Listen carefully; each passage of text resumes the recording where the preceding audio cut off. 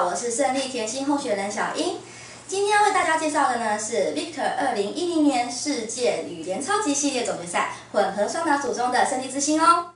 首先要为大家介绍的呢是韩国国家代表队的高承炫与何真恩，两人联手威力十足哦。在零八年全英公开赛拿下亚军，今年的世界锦标赛拿下季军之外呢，也在印尼超级系列赛进入四强哦。两人在总决赛的表现呢，真的是精彩可期哦。